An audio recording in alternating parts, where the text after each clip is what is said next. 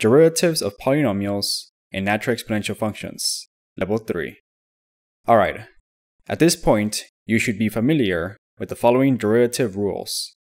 The derivative of a constant function, the constant multiple rule, the sum and difference rule, the power rule, and the derivative of a natural exponential function.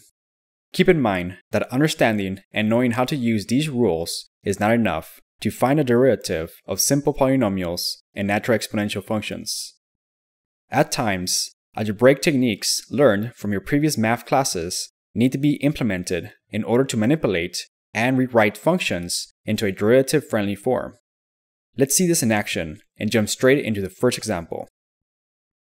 Find the derivative of f of x equals the quantity 5x raised to the power of 2.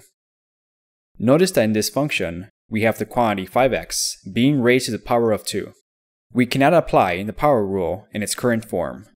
In a much later video, we will learn a new rule that will help us deal with these types of functions more efficiently. For now, with our current differentiation rules at our disposal, we would first need to rewrite the function by applying the power to the constant 5 and the linear function x as follows. Now we are free to apply the constant multiple rule along with the power rule. Applying both rules yields the following expression, 50x. This example illustrates the importance of understanding algebra for the purpose of rewriting functions into a derivative-friendly form before applying specific differentiation rules. Alright, let's try the next example. Find the derivative of f of x equals x times the square root of x. Alright, Notice that we have a product of a linear function and a radical function. At first glance, it seems that it would be impossible to find the derivative with the current rules learned from the previous videos. Taking a closer look at the function and recalling that radical functions can be rewritten into fractional powers, we can actually simplify this function into a derivative-friendly form. The radical function can be rewritten as x raised to the power of 1 half. Also notice that you can think of the linear function as x raised to the power of 1. So in essence, we can simplify this expression as follows. x raised to the power of 3 halves. Now we have a function written into a derivative-friendly form. All that is left to do is to apply the power rule as follows, resulting in the final expression equal to 3 times the square root of x over 2. Always be on the lookout for ways to rewrite the function into a derivative-friendly form before attempting to compute the derivative. Alright, let's move along to the next example. Find the derivative of f of x equals the quantity x squared plus x plus 3 all over x. Like the previous example, this function seems very complicated, and you might feel that you do not have a specific rule that you can apply to find the derivative. Let's see if we can first rewrite this function into a derivative-friendly form before we give up. Recall that you can think of division as another form of multiplication. In this case, you can think of the numerator being multiplied by the expression 1 over x as follows. Viewing the function in this way, we can see that we can actually distribute this expression to each of the terms in the numerator as follows. Then we go ahead and simplify each term, obtaining the following derivative-friendly function. f of x equals x plus 1 plus 3x raised to the power of negative 1. Now it is just a matter of applying the sum rule and apply the power rule to the first and third term.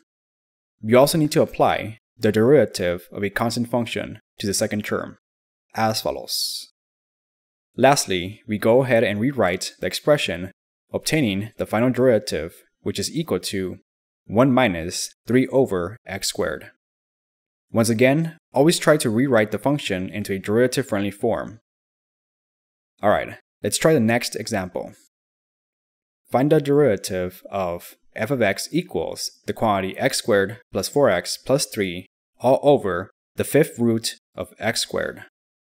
This function is similar to the last example, the only difference is that now we have a radical expression in the denominator.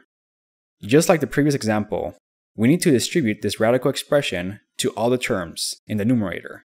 Before we do that, let's rewrite the radical expression by using fractional powers, as follows.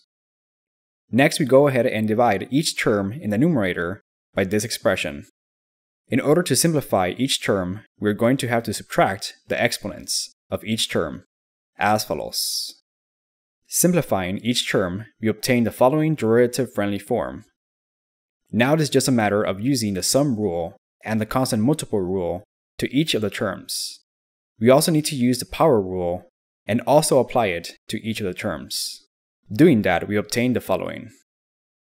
Lastly, you can simplify the expression by rewriting the fractional powers into radical expressions, obtaining the final derivative, which is equal to 8 times the fifth root of x cubed over 5 plus 12 over 5 times the fifth root of x squared minus 6 over 5 times the fifth root of x to the power of 7.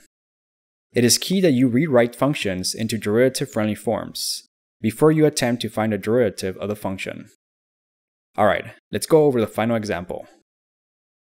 Find the derivative of f of x equals the quantity x plus 3 times the quantity x squared minus 5x plus 2.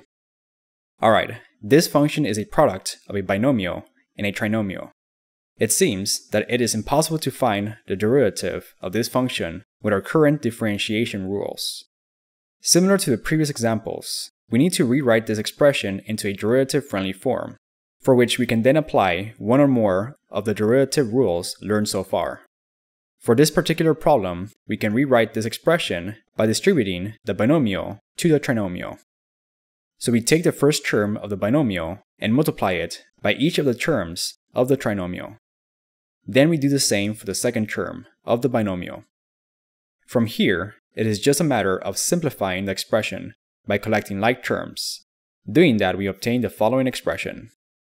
Now that we have a derivative-friendly form, we now apply the sum and difference rule, constant multiple rule, and power rule to the respective terms. Applying these rules yields the final derivative, which is equal to 3x squared minus 4x minus 13. Alright, now that we know how to use simple differentiation rules, we are ready to learn even more rules. In our next video, we will learn the product rule and learn how to apply it to find the derivative of slightly more complicated functions.